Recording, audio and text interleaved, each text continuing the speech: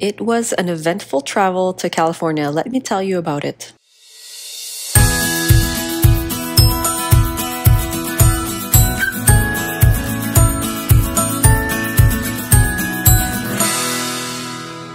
Good girls. So we started off by packing on the day of our departure because our flight was at 6 p.m. So we figured we had the morning to pack and of course, we're going to our house, so we don't need to pack that much. Oasis always loves when the carriers are out. He insists on Herky and Milton going in because they are such seasoned travelers. This is what our entire crew looks like. We have one stroller, one car seat, Herky and Milton, one luggage, and two backpacks. I find this is the lightest you can actually travel given the number of people that we have. But look at how big the toddler car seat as opposed to the baby car seat that we previously had. And this one is very heavy. So if ever you're traveling with a toddler, just be aware that it is very heavy. This part is definitely the heaviest because you have to check the luggage in and then you have to drop off the car seat at the oversized luggage drop off. So you actually have to bring your luggage all the way there. But after that, all we have left is the stroller and the girls. Security is the most stressful part, and this was right after we passed security. Andy takes Herky and Milton out of the carriers and through the metal detectors, I take Oasis and the stroller and the girls just ran to me afterwards. There was not a lot of people at the security, so it was very pleasant. We were able to sit at the lounge this time, and Oasis was able to look at all the airplanes, which he loves. We were able to grab a nice meal. Herky and Milton were able to pop their little heads out for a little bit, and they got some cuddles from Oasis. I'm not sure how much they like that, but Oasis really wanted to entertain them, and he left his little toys in the carrier for Milton. Milton is telling me that I owe her money, and Herky is telling me that I owe her chicken. This is Milton's face after she clearly took a nap, although she will deny it if you ask her. But I really think she did take a nap. This is Andy's face after they told us that the plane was delayed. It was delayed for 30 minutes and it was so expected. I feel like airlines and airports are so unorganized lately and everything is always delayed and canceled. I really prayed that everything did not get canceled. We kept getting delayed, so we took Herky and Milton out for a little stroll to the potty area for them to walk around a bit and to be able to get another potty break before we got on the plane. When we finally got onto the plane, the flight was three hours delayed, but so by this time it was about 9 p.m. Eastern, and I'm so happy that we got Oasis his seat. We traveled about one week before his two year old birthday, so it wasn't mandatory to get him his seat, but look at how much space he's taking. This was definitely needed, and I'm very happy we did it.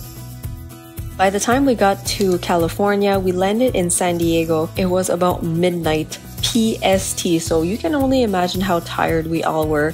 Oasis was super excited and happy. Herky and Milton were very happy to be out of the carriers. At this point, we had to take a shuttle to the car rental center to get our car to drive to the hotel.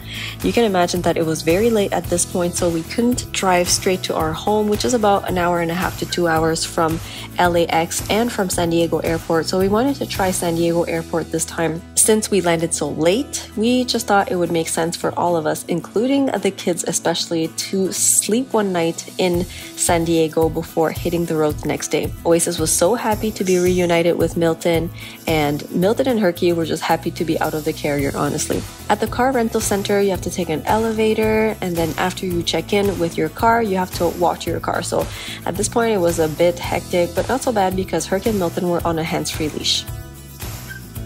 We all had a good night's sleep, but Oasis was up bright and early at 6 a.m. Pacific Standard Time. He was not affected by jet lag at all. I was so tired, but it is what it is. And Milton deserved a fresh breakfast after that day of travel, so we took some eggs from the buffet downstairs and they gobbled that right up. It was such a good breakfast for them, and I felt bad that they were eating kibble the day before because we were traveling, so this was very good for all of them. I'm actually getting terrified at how Milton sharks the food now, and of course, Herky always sharks the food, and it's always terrifying, so I ended up um, throwing it on the floor for them to eat. More cuddles from Oasis for Herky, always. It was time for the morning walk, so we took Herky, Milton, and Oasis out for a little stroll. The hands free leash is really a game changer for us, and we don't know how we ever walk without it.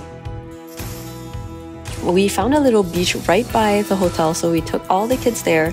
Herky and Milton were very excited to find the beach, and I love that Oasis is starting to pose now.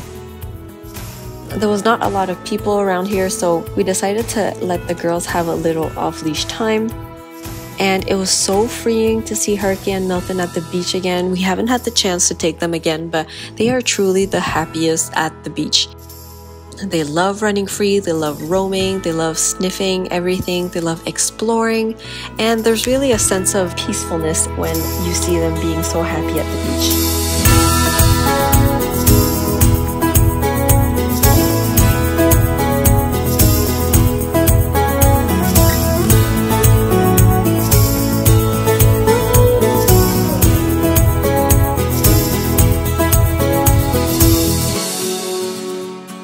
Then we continued on a little stroll, and the sun decided to make a little appearance by the time we ended the walk, which was really nice. You can see the beautiful colors of San Diego. Herky and Milton were very dirty after the walk, so of course we had to go back to the hotel and give them a bath. If you ask Herky, she's gonna tell you she doesn't need a bath, but I think she really needs a bath. She has sand all up in her face, even. This was how dirty they were. We didn't have any shampoo, so I just watered them down and got as much sand as possible off of them. This is what the water looked like after I took them out of the water and after draining the bath. The girls were as clean as they could be, and we all took a little nap before hitting the road.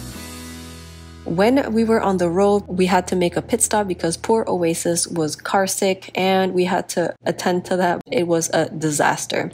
To cheer him up a bit, you can see that he's crying here. I put Milton on his lap for a little bit to cheer him up. He was very happy to be reunited with her.